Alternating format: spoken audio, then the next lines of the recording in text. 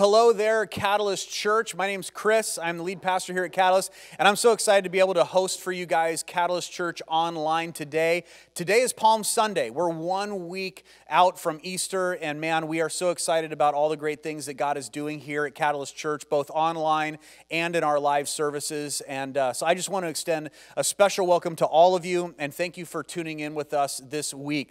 If you're new with us, we would love to have an opportunity to connect with you, and the best way for you to let us know that you're watching today is to simply grab your phone and text Catalyst SP to 97000.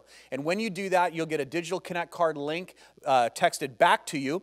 And then uh, from there, you can let us know that you're watching with us today. You can also submit prayer requests or if there's anything else that we can do to serve you and your family. That is the best way for you to let us know uh, how we can best serve you.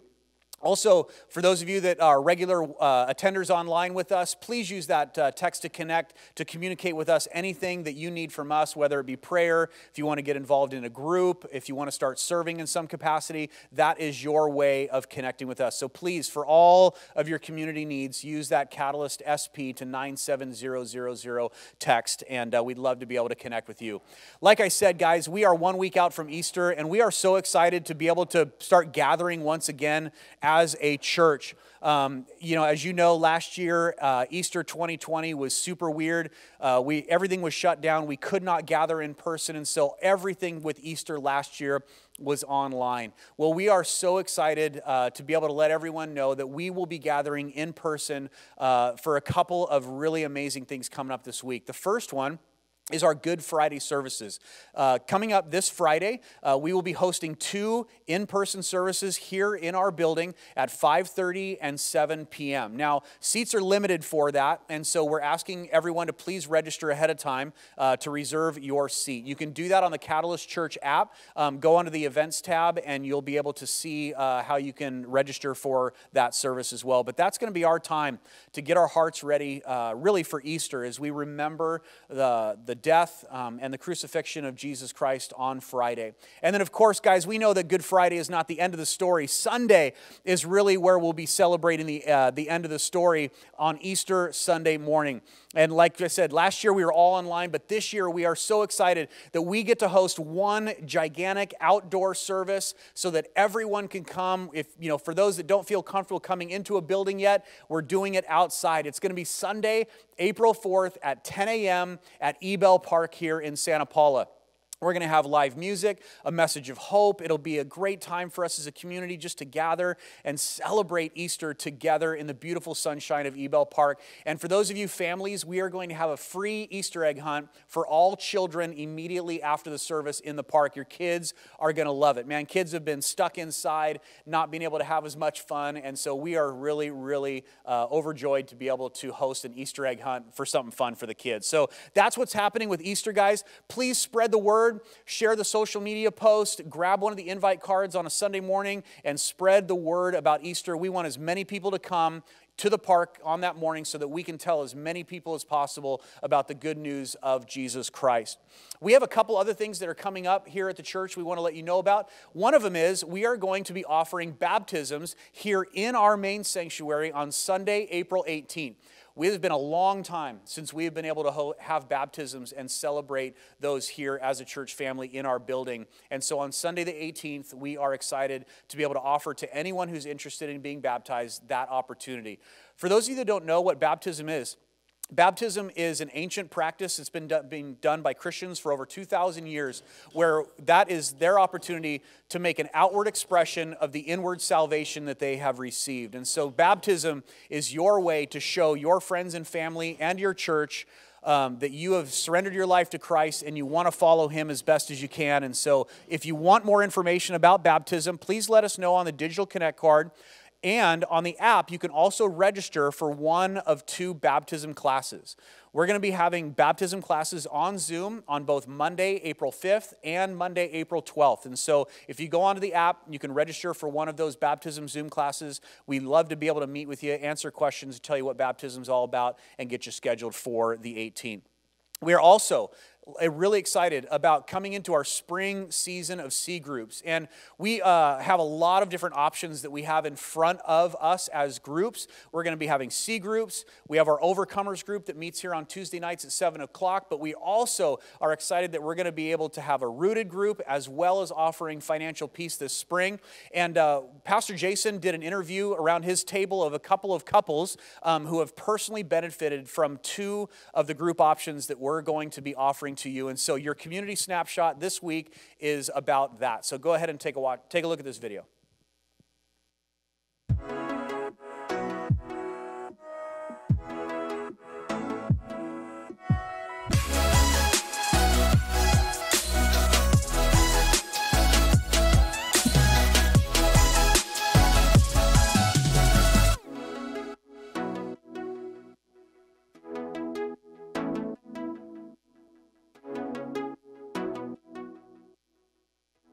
Hey guys, for this week's uh, community snapshot, we got a couple of my favorite people here. We got Michael and Kelly Mora, we got Martin and Christina Lee. The reason that I wanted you to hear from them this week is because um, Mike and Kelly Mora have gone through Rooted, which we're getting ready to offer, and Martin and Christina have gone through Financial Peace University, which we're also going to offer really quick here um, for all of you guys that are interested.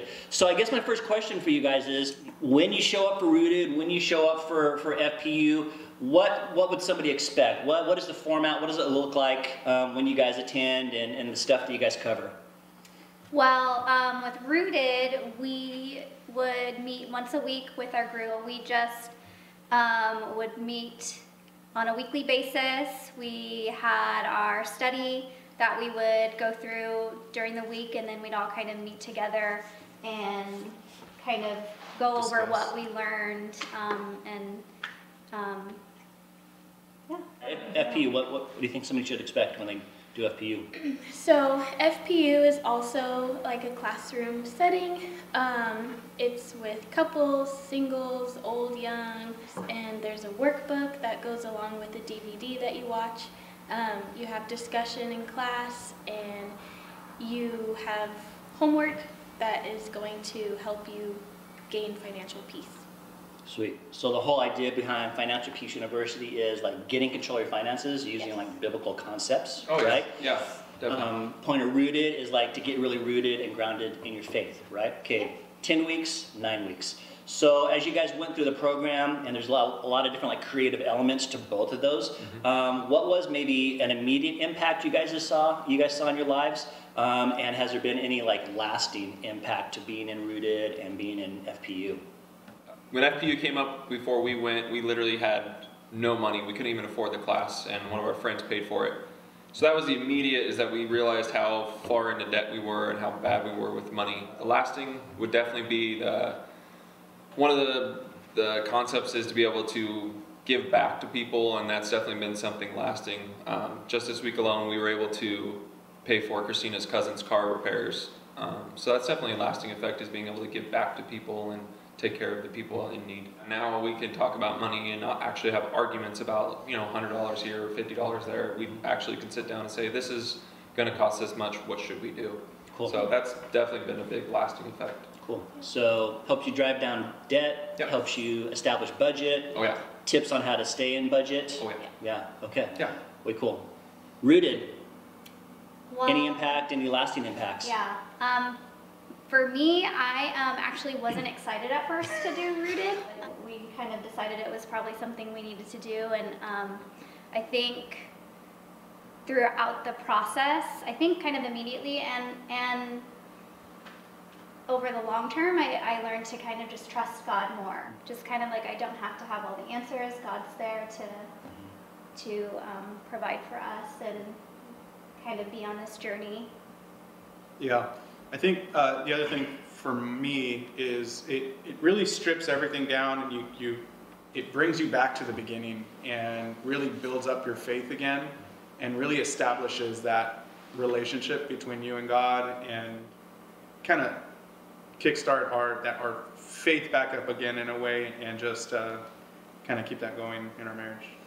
So it's beneficial for somebody who's maybe new to the faith or somebody that was in your position. You guys had already had a relationship with the Lord, and kind of just, like you said, kind of kicked it back into gear for you. Yep. Yeah. Okay. Cool. Um, for both of you guys, for FPU, for Rooted, if somebody like your best friends came up to you and said, Martin and Christina, we're kind of thinking about FPU. Why do you think we should do it? You know, Michael and Kelly, we're kind of thinking about Rooted. Why do you think we should do it? What would you tell anybody that came up to you? What encouragement would you give them for doing the, the classes that you guys did? Um, I think that, like Martin said, it's opened up a lot of conversation, and we have talked to friends about it and realized just how many people do struggle financially. It really helps you to be disciplined, and um, at the end of the day, it's been a blessing for us to be able to bless others.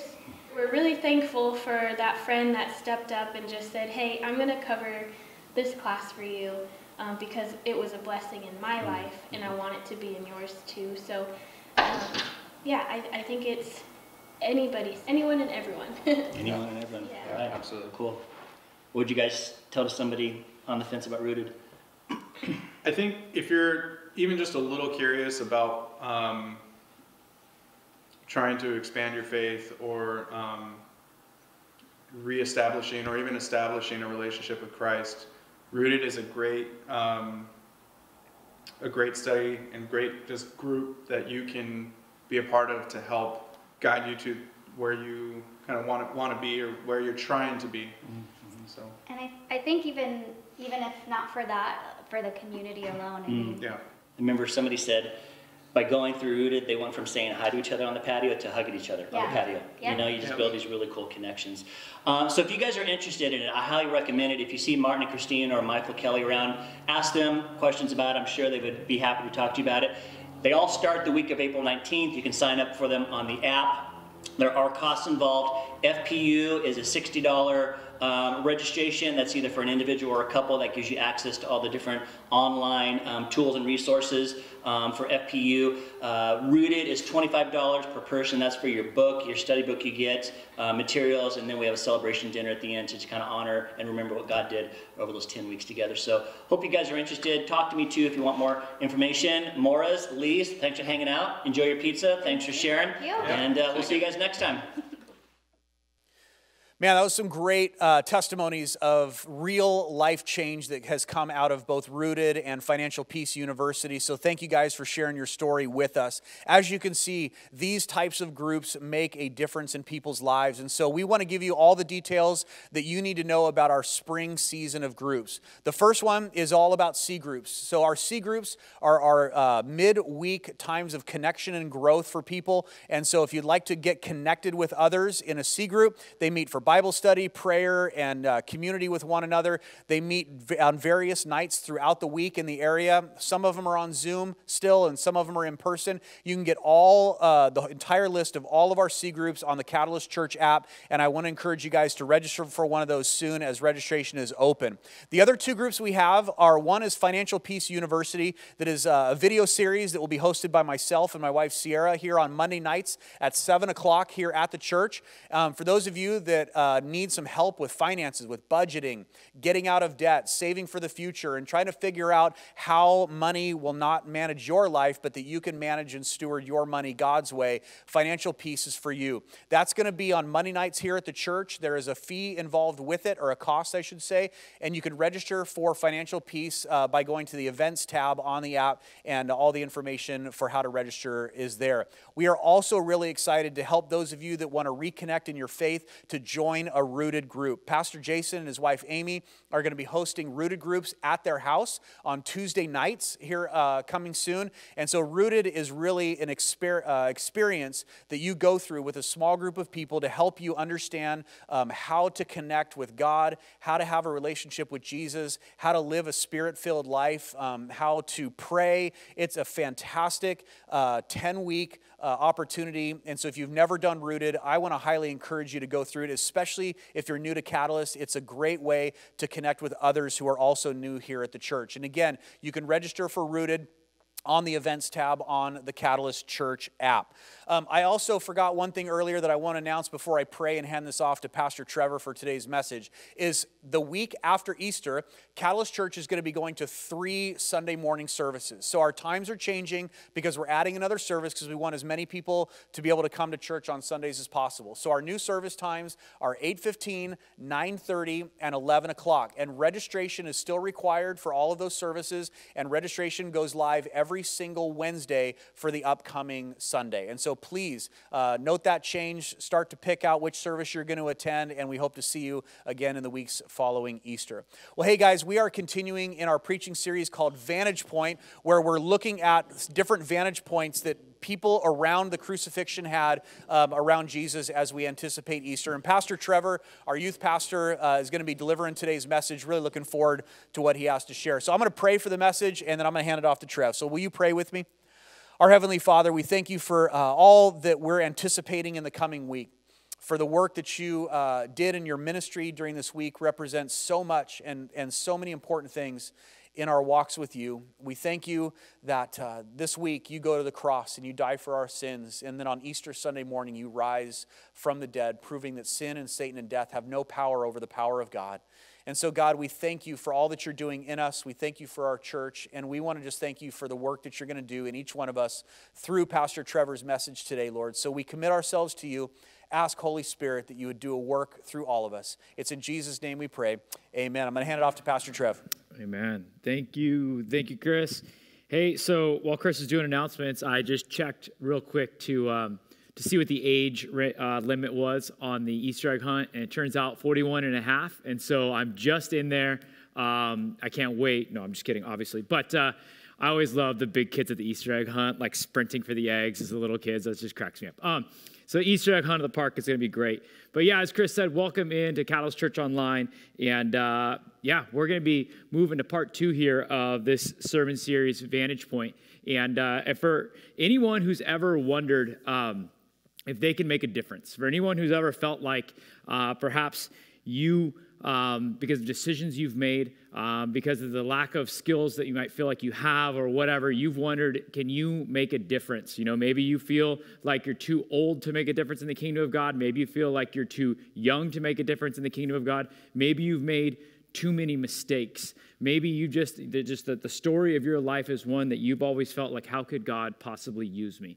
And I just want to share with you um, that I think the, the passages we're going to look at this morning uh, or whenever you're watching online, um, these passages have the ability to, to just encourage us in a remarkable way that oftentimes the people that uh, the world might consider insignificant uh, are often the most significant in the kingdom of God. And so I'm really encouraged to share with you. And so we're going to be talking about uh, the story of Easter through the vantage point of Mary Magdalene and the other women who were at the cross. And there, as we know about Mary, uh, just from the text, is that at some point Mary was, was a woman who had seven demons within her. Seven is often a number of completion in the Bible. Perhaps it was literally seven demons, or perhaps this is an example to say Mary was very demon possessed. Mary was also obviously a woman, and women in this time in, in ancient Rome were not. Um, were not on, on par with men. And it was and we'll talk more about this in a second but but women were often considered less significant. Some suggest with church history that mary was even a prostitute. And so there's all these reasons that, that Mary would be potentially seen as somebody who might not be significant in the Easter story.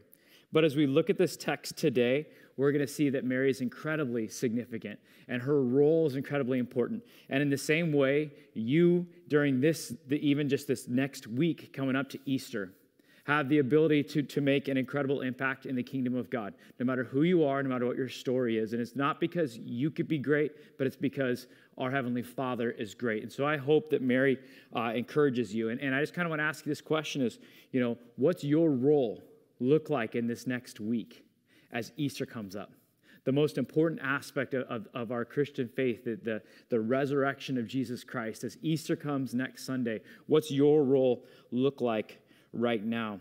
And so, as Chris mentioned, we're in this, this Vantage Point series. And a Vantage Point is, is you know, just this idea that like wherever you see something from, it changes how you experience it. And I, you know, I think of surfing. I brought my surfer magazine. I don't know if you guys can see it. I hopefully you can. But I brought my old school surfer magazine. RIP Surfer Magazine It's one of the things that died during uh, this 2020 year. But uh, the Surfer Magazine, I can look at waves in the Surfer Magazine from the vantage point of holding it in a magazine. Or if I look at it, uh, waves on my phone or on my TV, I can think, I can surf that. I can look at waves often from the beach and think, yeah, I got it, no big deal. And then once you're on your stomach paddling and you have the vantage point of the wave out and up in front of you, it's like, oh boy, that's a whole different picture. Or once you're paddling and you're about to drop in and the bottom's kind of falling out of the wave and you're going, oh boy, that's a different vantage point. Each person that, that encountered the cross uh, and encountered Jesus during that Easter Holy Week, they have a different vantage point. They have a different angle. They have a different experience. And so today we're gonna we're diving into the experience of of Mary. And we're also just going to kind of encompass the, the other women. And, and, you'll see it in the text because they kind of just clump them together. And it's part of that, uh, that, that problem with the ancient history here. But, but with Mary and the women that are at the cross and the vantage point that they have, and something that's so cool is they have such a unique and full picture that's beyond what the others experience. And so that's where we're at this morning. And what I want to do is I want to give you just four ways that the insignificant vantage point, insignificant, they are actually very significant people, the insignificant vantage point of Mary and the women and why they're actually so important. And so we'll be uh, looking in Mark chapters 14, 15, and 16. So hopefully you could open up in the text and get ready for that. But before I get into it, I just have to explain a little more about the historical context of, of what it was like for these women. Uh, women in, in this era, they were often seen as like second class citizens. Uh, they were largely confined to their father's homes, either that or to their husband's home. So they would have that transition. And, and that was, that's part of like when you go to a wedding and there's that handoff. It doesn't seem as beautiful now, but I still really look forward to handing off my daughter one day. Um, but but that that's they were always a woman was always under a man somewhere, whether it was her father or whether it was her husband. Women often their testimonies would not be taken seriously or taken into account. Um, beyond all of that, they, they, they really didn't have the ability to kind of make faith choices or, or just move about freely. They would do what their families did, they would believe what their families believed. And so I share these things because as we look at this text and as we encounter these women who followed Jesus, we realize a couple of things that are just really important. The first one is that Jesus was radically progressive in how he valued and empowered women.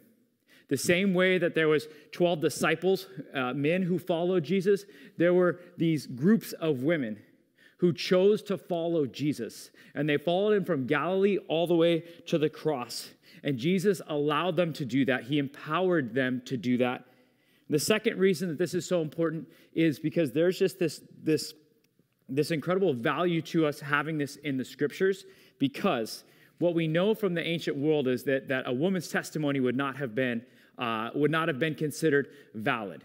And so, if you were going to make up uh, a story about a resurrection of Jesus, you would not want to use women as your primary um, as your primary evidence. You would not want to use them as the sole uh, uh, viewers of, of the experience. And so, what we're going to see is is in this story the testimony of Mary Magdalene and the testimony of the women in these events of the cross and the Easter story are are some of the most important and so we look now, and, and this is actually helps us. Then it would have been to their detriment because they would have said, no, the woman's testimony is invalid. But what it does for us today, it actually tells us how reliable script, the scriptures are. Because if you were going to make, if Mark was going to make this up, he wouldn't put Mary Magdalene in the position that we're going to see her in today. He'd put Peter or John or some Luke, somebody else, anybody but a woman who had been possessed by demons and is thought to have been a prostitute. That's not the person you want, but but the scriptures, they tell it how it was. And so what was possibly to their detriment with the testimonies in that day now in our day actually helps us in saying, look at how reliable the scriptures are to truly uh, give us how it happened. And so that's where we're at. Mark chapter 14, 15, and 16. We'll chart, start in chapter uh, 15 at verse 40. And like I mentioned, I want to give you four ways that the insignificant vantage point of Mary and the women, uh, how, how they were actually so significant. So check this out. First one is this. Um, I got to turn my notes here. Here we go. Hang in there with me, Church Online. Mary and the women support, supported Jesus from Gal- Galilee to the empty tomb and beyond. Let me read these verses to you. Mark chapter 15. Some women were watching from a distance. Among them were Mary Magdalene, Mary, the mother of James, and the younger, and, and Joseph, of, of, and Salome. In Galilee, these women had followed him and cared for his needs. Many other women had came up with him from to Jerusalem were also there. So as we pick up that story, what's happening in the story is that that Jesus has just been um, crucified. Jesus has just been taken to the cross. He's been tortured. He's been killed, and largely the disciples are missing. We know that John was there, but largely the disciples have scattered and fled. But the lone group that's traveled with him all the way there are these this group of women. It's Mary Magdalene and the other Marys. And just something to just to know is that Mary was like by far the most uh, common name in that day. And so it's actually very confusing to try to get through the Gospels and try to figure out which Mary is which. And we're going to reference this a few times that we often don't know and can't fully figure it out with certainty. But in that moment, when Jesus is dying on the cross, it's the women who are there. And something that's so powerful about these women, and, the clue that we get from this text is right after Jesus has died, it says that in Galilee, these women had followed him. Galilee was where Jesus' ministry had started.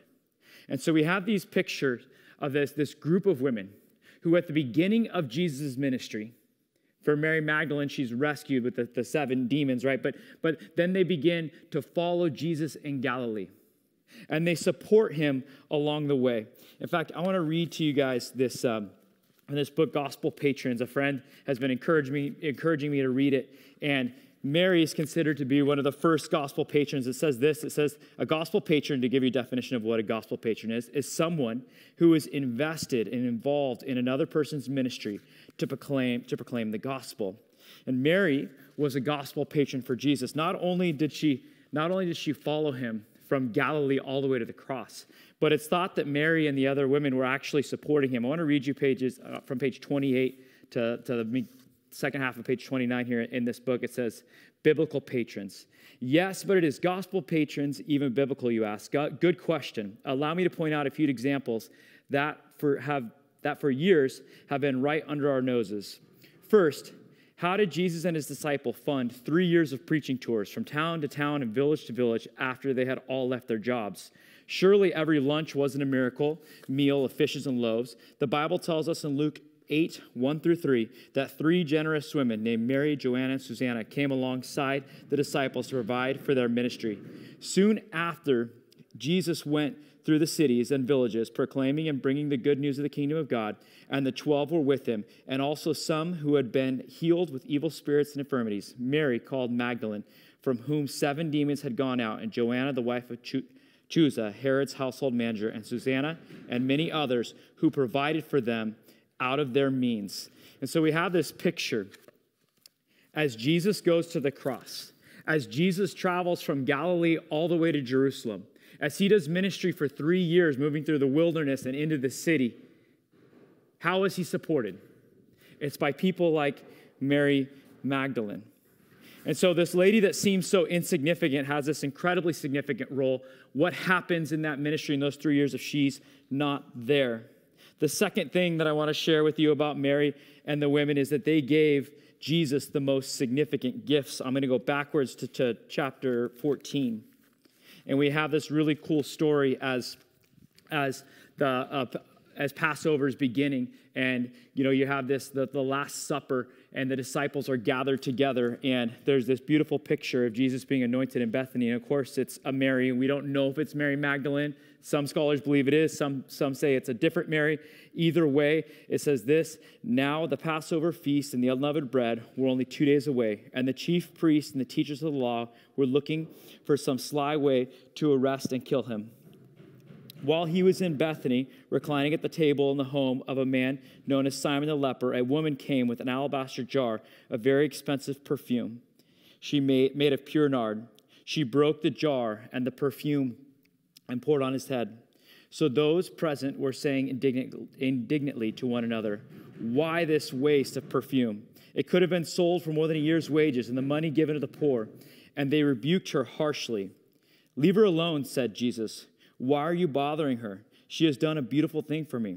The poor will always the poor you will always have with you, and you can help them anytime you want, but you will not always have me. She did what she could. She poured perfume on my body beforehand to prepare me for burial. I tell you the truth that wherever the gospel is preached throughout the world, that she has done, what she has done will be told in her memory.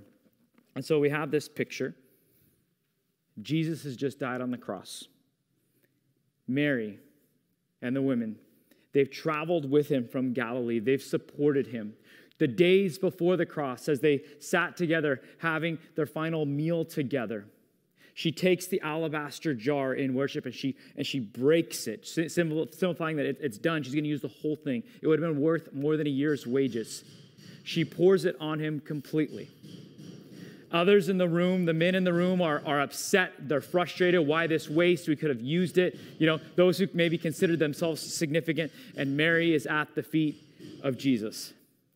And there's this dialogue, but I love, love, love what, what Jesus says in verse 8. And it just popped off the page at me as I was preparing. It said this She did what she could.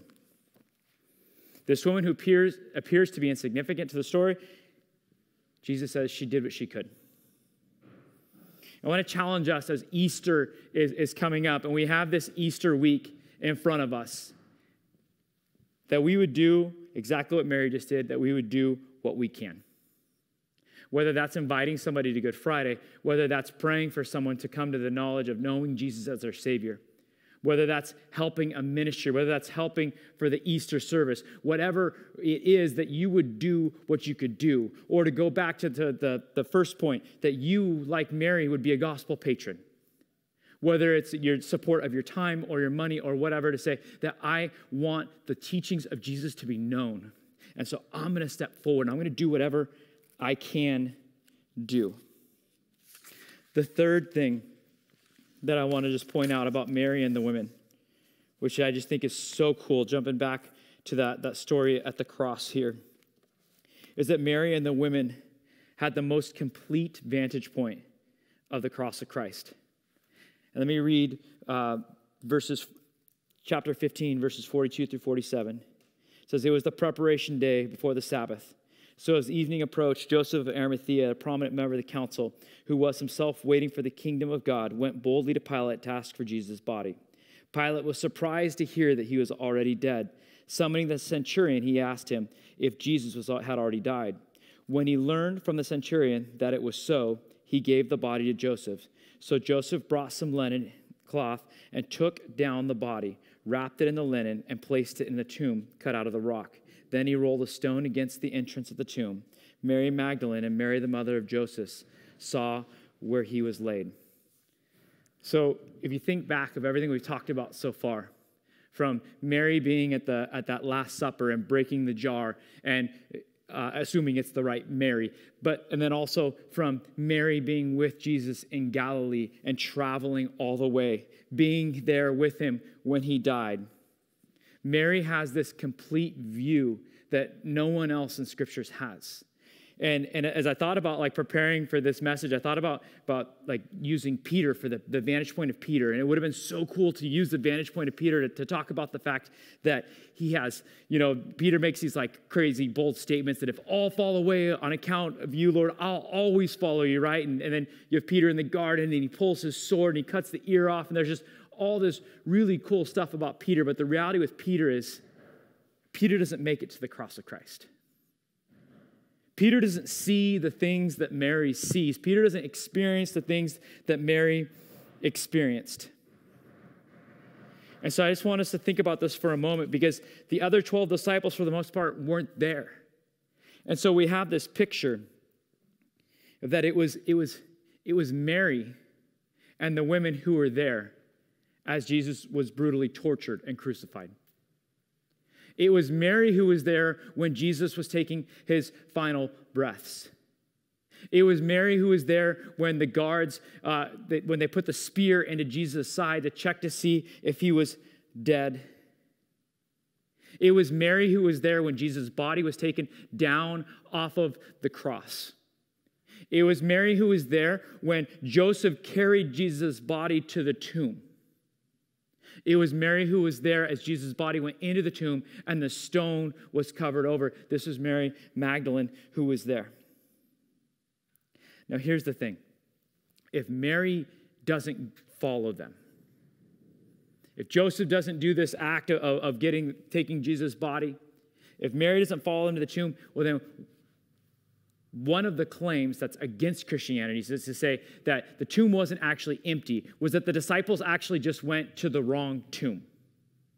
But because Mary was there, because Mary followed all the way to the tomb, when she goes back, which we'll read this in a moment with the Easter, when she goes back on Easter Sunday and she shows up at the tomb, we know that she showed up to the right tomb because we know that she had already been there with Joseph when they put his body in. Mary and the women, they give us the most complete picture.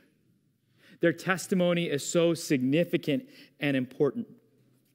And so this leads us to the last, my last point that I want to share with you of why this insignificant, these, uh, these people that appeared insignificant were so significant. And it's just simply this that Mary owned the firsts of Christianity. When I first started coaching at Santa Paula High School, the water polo team, uh, we had a blast the first three years going through this process of, of establishing the firsts. Who was going to score the first goal? Who was going to make the first steal? Who was going to be the first Cardinal to get ejected? When were we going to get our first win? When were we going to win our first championship? When we have our first winning season? When would we first make it to the playoffs? We counted all of it, we checked all of it, we had a blast going through that. It's Mary, as we're going to read about in just a second, that owns all the first of the Christian story. So in Mary, in, in chapter 16, check this out. Mark 16, it says this When the Sabbath was over, Mary Magdalene, Mary the mother of James, and Salome brought spices so that they might go to anoint Jesus' body. Very early on the first day of the week, just after sunrise, they were on their way to the tomb, and they asked each other, Who will roll the stone away from the entrance of the tomb? But when they looked up, they saw that the stone, which was very large, had been rolled away. And as they entered the tomb, they saw a young man dressed in white, a white robe sitting on the right side, and they were alarmed. Don't be alarmed, he said. You are looking for Jesus, the Nazarene, who was crucified. He is risen, he is not here. See the place where they laid him? But go tell his disciples and Peter, he is going ahead of you into Galilee. There you'll see him, just as he told you. You think about this for a moment that, that, that Mary, she was with Jesus through the crucifixion. And Mary is, is, is with him through all those pre moments. But then it, it's Mary Magdalene and, the, and Mary, the mother of James, who were the first to the tomb on Easter morning. It's them that first see the empty grave. Then, when we jump over to verse 9, it says, When Jesus rose early on the first day of the week, he appeared first to Mary Magdalene, out of whom he had driven seven demons. She's the first to see the risen Jesus. She's the first to believe in the risen Jesus. At my, at my last church, they had the, the it's, it's an ancient tradition that most churches do, but on Easter Sunday, they were all in on the whole He is risen and then you go up and then you reply, He is risen indeed. And it was like every single person. You couldn't walk anywhere on Easter morning. It was, He is risen. He's risen indeed. He's risen. He's risen indeed. And I, I kind of loved it. Like I was all for it. But the reality is, like Mary, she's the first person. She's the first person to say, He is risen. Now, the angel got to say it too, by the way. But, but Mary is the first person to say, He is risen. Mary's the person that gets to go back to the disciples who are, who are crushed and crying and gets to rush them and say, No, no, no, no, he's alive. He's risen. This is Mary. Now, here's what I, I, I want to I wanna share with you. Is in the same way that last week we looked at Barabbas's vantage and the way that he and Jesus switched place and Barabbas was given freedom in Jesus. And in the way that on Good Friday, Jason will talk about the criminals on either side of the cross and, and the, their vantage points and their two uh, interactions with Jesus on the cross. In the same way, you have a vantage point to the cross, and I have a vantage point to the cross. We each have this different experience of the most important and significant moment in, in the history of the world of when Jesus has died, gone into the tomb, and rises again. There's aspects of what that means in your life that nobody else understands but you. There are people in your network that you can go talk to and tell, He has risen. That they can't hear it from me or from Chris or from Jason or anybody else, but that you can go and tell, He has risen. You have aspects of your story that, like, that, that because of what He has done on the cross, not because you're great. In fact, you might be, feel just the opposite. You might feel incredibly insignificant, but because He is great. We have this news to say He is risen. As I've thought about this stuff and been praying about it and then thinking about Mary this week, I'm just, I'm really excited about what God could do through us in these next seven days. If we would take on the kind of attitude that she had, that if we would be gospel patrons, if we would say, This is the best news in the world. And whether it's inviting people to Easter, whether it's funding missionaries, whether it's sharing the, the sermon on my online, whatever it is, I'm going to be a gospel patron. I'm going to make sure this message goes out because I want to be like Mary. Whether it's that attitude where she breaks the alabaster jar and everybody said, Why'd you waste it? And Jesus said, She did what she could. To have an attitude this week to say, Easter's seven days away. I'm going to do whatever I can that the good news could be known that I'd recognize that I have a vantage point of the cross that, that nobody else has. The same way Mary had a vantage point, the same way she saw the whole thing, there's a vantage point that I see that nobody else sees, and I'm going to share that. And this week, and this Easter, I'm going to declare that he's risen because it matters. That this won't just be another Easter that comes and goes and I show up or I don't show up or I watch online or whatever, but to say, no. If God can use Mary, if God can use a prostitute who was possessed by seven demons in a world that shunned women to be the person that testifies to the risen Jesus, if he can use her in those circumstances, then I know he can use me and he can use you in our circumstances right now. And the world needs this news. We need the vantage point of the cross. Everybody needs the vantage point of the cross in their life. And would we be people like Mary who would go make that happen? Let me pray. Dear Heavenly Father, would you just encourage us this week? We have a service we can invite people to. We have the best news in the world. We have an example of someone like Mary Lord, would it be the, just the cry of our heart that, that He has risen? Help us to share that with the people that need to hear that. Lord, we thank you for your goodness. In Jesus' name, amen. Wow. Thanks for that message, Trev. Um, man, he's absolutely right. God can and wants to use all of us, regardless of our background or anything like that, man. Um, that's the vantage point that we want to bring and that we want to be able to see this season in. We're just so thankful that Jesus did all of this, went to the cross, resurrected from the grave, so that all of us could have a brand new start. Um, and we look forward to what God's going to do in this upcoming week. Again, we want to invite you to our Good Friday service. It's coming up uh, this Friday. And please, guys, do not miss out on the opportunity to come to Ebell Park on Sunday morning for Easter Sunday in our celebration at 10 o'clock. Again, thanks for joining us uh, once again this week for Catalyst Church Online. Uh, if you need any prayer from us, please use that text to connect um, and let us know how we can be praying for you over the course of this week. And if you uh, are enjoying what you're getting here online and you want to help financially contribute to what God is doing through Catalyst Church, both in person and online, you can always give through the Catalyst Church app.